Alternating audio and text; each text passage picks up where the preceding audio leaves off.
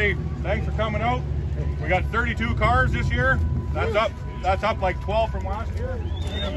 Way to go, guys! 20 trucks.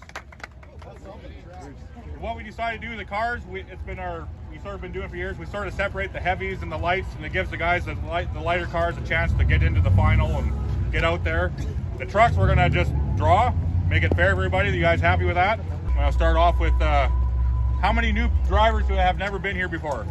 Never been here, never driven. Okay. Here last year. How many? How many are only been in a couple derbies themselves driving? Okay. Everybody knows how. newfie. What's that? We got a new Yeah, we got newfies too. Hey guys, thanks for coming, Yeah, guys. thanks for coming, guys. One hell of a show. Okay, everybody knows the basic safety things: drivers' doors. We got uh, spotters, flaggers. Got to see tires skidding. We're watching for it. You guys aren't on the brakes, man. It's muddy I out see, there. I see rooster tails going at that door bar. You're getting a black flag.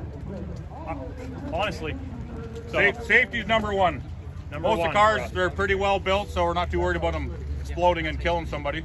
Cheer for co-pilots in the car here. We're changing the rule formats of the cars for a Yes. lo- lot of stuff, so there's going to be some changes. It's going to be posted. It's going to be well announced. So don't show up next year expecting to run a co-pilot. It's just we're out changing with the times for the better. We are going to have the running order on that white board as we go in over there.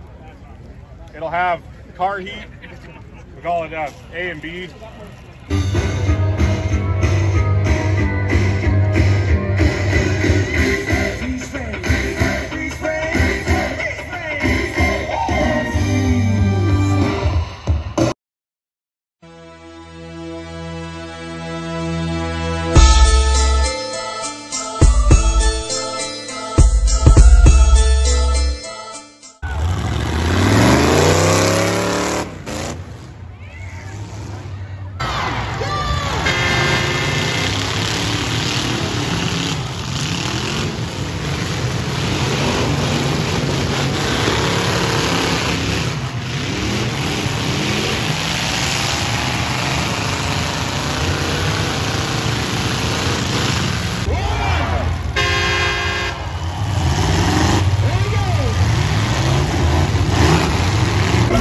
up with omelets.